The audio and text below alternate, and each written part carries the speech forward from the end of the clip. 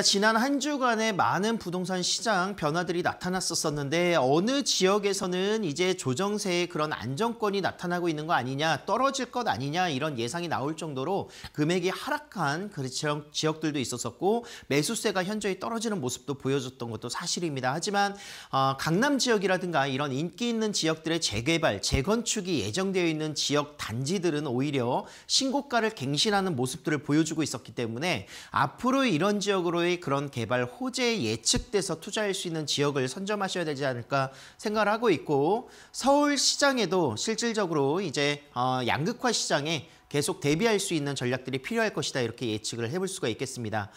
자, 서울 2030 플랜 이제 뭐 2340 플랜들이 나오길 전에 이제 어떻게 보면은 이제 막바지에 다다른 계획들인데 어, 서울 플랜 3도심의 국제 업무 중심지가 바로 이곳 강남권이다 이렇게 보실 수가 있겠습니다. 3도심 중에 강남권과 한양도선 도심 지역과 영등포 여의도 지역으로서의 어, 3중심으로서 이제 서울이 계속 개발이 된다는 것인데요. 이제 2020년을 시작했기 때문에 앞으로 10년 동안은 이 개발에 맞춰서 발 빠르게 움직이지 않을까 생각을 할 수가 있겠고 실질적으로 서울 3도심 중에서도 자금이 가장 많이 풀려 있는 지역 어딘가 계산을 해보시면은 강남 지역이 14조 9천억 원으로서 급여 총계가 다른 3도심에 비해서 두배에서네배가량 어, 높게 형성되어 있는 모습들을 볼 수가 있겠습니다. 그만큼 많은 자금들과 일자리가 창출되는 지역이 바로 강남이다 이렇게 볼 수가 있겠는데 서울의 전체적인 근로자 수만 하더라도 강남 지역은 170만 개 이상의 근로자가 근무를 하고 있는 근무 여건들이 갖춰져 있다. 거기에 더불어서 강남권에는 좋은 양질의 어, 그런 일자리가 창출될 수 있는 지역이다 이렇게 볼 수가 있겠고요. 다른 지역 도심 지역의 134만 가 아, 134만 개의 일자리와 그리고 여의도의 53만 다른 지역에 비해서도 월등히 높게 형성되어 있는 일자리 급여 총계가 굉장히 높게 형성되어 있는 지역이기 때문에 강남권에는 그만큼 많은 인구가 모일 수밖에 없다라는 점을 어, 체크해 보셔야 될 것 같습니다.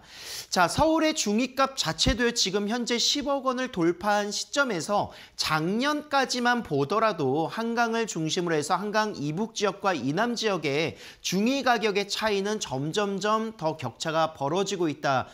평가를 해볼 수가 있겠습니다. 특히나 강남 지역의 강남 3구만 보고 봤었을 때도 이미 14억 원의 이상의 그런 금액들이 중위값을 형성하고 있기 때문에 앞으로는 고가 주택, 초고가 주택들은 강남권에 밀집될 수밖에 없다라는 그런 반증을 해줄 수 있는 이런 그 실질적인 지표가 되지 않을까 생각을 할 수가 있겠고요.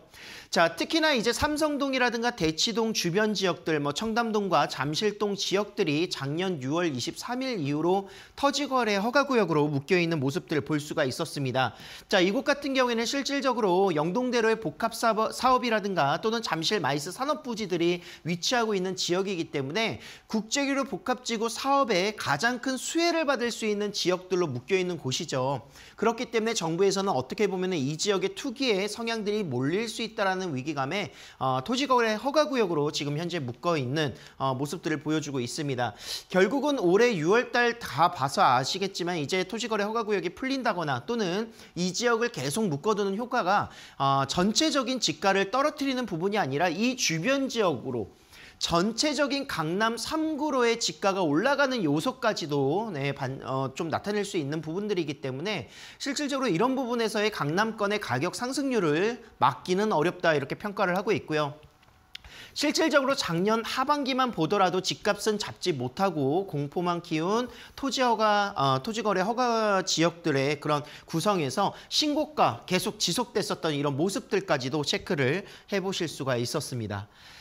자, 특히나 이제 강남권의 아파트 가격 너무나도 공동주택 가격에서 많이 올랐다는 점 알고 계실 겁니다. 웬만한 인기 있는 지역들 어, 실질적으로 이제 뭐 어, 20억에서 30억 정도의 시세는 훌쩍 넘어버린 모습도 보여주고 있고요. 압구정 단지에는 뭐 80억의 어, 그런 가격대가 형성될 정도로 굉장히 높은 가격들이 나타나고 있는 것도 사실인데 어, 연립주택이라든가 공동주택의 가격들도 같이 함께 굉장히 높게 올라가고 있는 모습 보여주고 있습니다. 특히나 청담동이라 지역이라든가 입지가 좋은 지역들 위주로 해서 아파트가 아닌 공동주택들, 뭐 고급 빌라라든가 다세대 주택, 오피스텔 이런 가격들도 적게는 뭐 1, 2억, 어, 3, 4억부터 시작을 해서 많게는 20억 이상까지도 올라간 단지들이 있을 정도로 굉장히 앞으로는 공동주택이라든가 다세대, 연립주택들의 가격대도 굉장히 큰 폭으로 오르고 있는 모습들을 살펴볼 수가 있습니다. 자, 부동산 시장의 양극화는 이제 기정사실화되어 있습니다. 실질적으로 이제 아파트를 포기하는 가구들도 나타날 정도로 너무나도 높게 형성되어 있는 아파트, 특히나 이제 강남권에는 진입조차 어렵게 생각할 정도의 그런 가격대가 형성되어 있기 때문에 그들만의 리그가 형성되지 않을까 생각을 충분히 할 수가 있을 것 같고요. 그렇다면 이곳 강남에 집중할 수 있는 내 자금으로 들어갈 수 있는 아파트가 아니라면 어, 다른 주택의 유형으로도 이 지역을 선점하셔야 된다는 점을 지금 현재 꼭 말씀드리고 싶습니다. 지금 현재 고급 부동산에 몰리는 20, 30대는 young rich의 그런 어, 모습으로서 정말 상위 1%의 celeb들이 어, high-end급의 그런 주택들을 선호한다는 이런 high-end의 고급 소형화가 계속 지속이 되면서 어, 강남권에서 이제 전체적인 서울 전 지역으로 퍼져나갈 것을 꼭 기대를 해보셔야 되고 준비를 하셔야 된다 말씀을 드릴 수가 있겠고요. 밀레니얼 세대에 따라서 이제 주거의 트렌드는 확실하게 변할 수밖에 없다라는 점을 상기시키도록 하겠습니다. 자, 부동산 시장의 양극화라든가 화폐 가치의 하락 또는 인플레이션에 대비할 수 있는 전략 실물 자산, 특히나 강남 지역의 투자에 집중할 수 있는 방법을 모색하셔서 앞으로의 부동산 시장의 변화에 발빠르게 대처할 수 있는 어, 시청자가 되시길 바라겠습니다.